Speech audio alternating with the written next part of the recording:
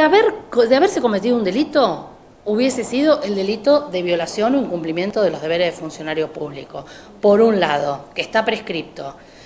Pero por el otro lado, eh, yo considero que la policía de Salto eh, también hubiese estado en la misma situación porque no tuvo ni los recursos ni los medios del gobierno ni del Ministerio de Educación, de Educación, perdón, ni del Ministerio de Justicia ni del Ministerio de Seguridad de que le manden efectivos policiales. Ahora, por ejemplo, hay perros, hay, qué sé yo, Barcos no es experto ni en levantamiento de otras herramientas. Claro, ni, en aquel momento también las sabía, porque en la ruta 7, en todo el trayecto de la ruta 7 que supuestamente que supuestamente no, que transitó la familia Pomar, se hizo el rastrillaje con los 200 efectivos, con perros, con caballos con un montón de, material y recursos que proveyó el Ministerio de Seguridad. Nada de eso pasó en Salto. O sea, ¿hasta dónde? Si la policía de Salto hubiese querido eh, hizo lo que pudo, hubiese querido hacer el rastrillaje, no hubiese podido, hizo lo que pudo con lo que tenía y cumpliendo las órdenes que le, que le enviaban. No, no, no hubo alternativa. Yo sé que fue terrible, además a todos nos conmocionó cuando nos dimos cuenta dónde lo cuando nos enteramos dónde lo habían encontrado. Todos, todo el pueblo en algún momento pasó por ahí y no lo vio nadie.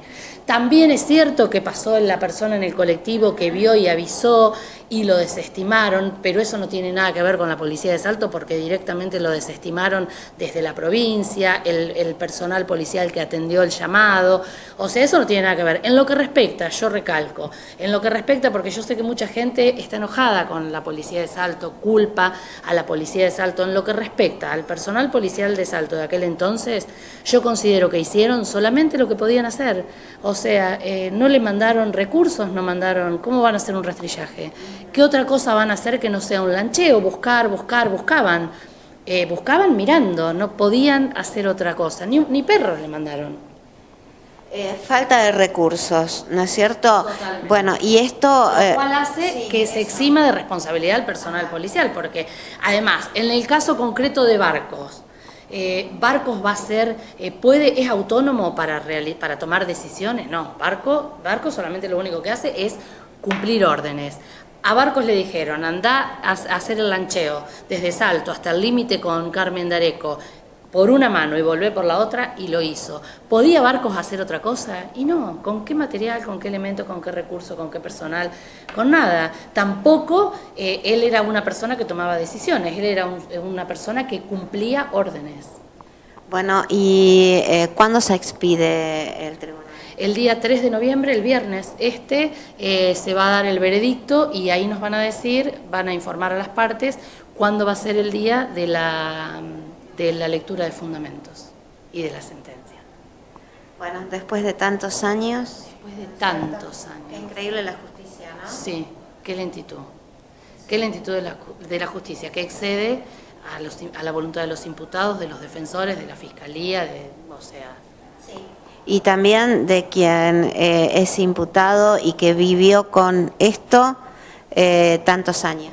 Sí, la verdad que sí, algunos lo demuestran más, otros menos.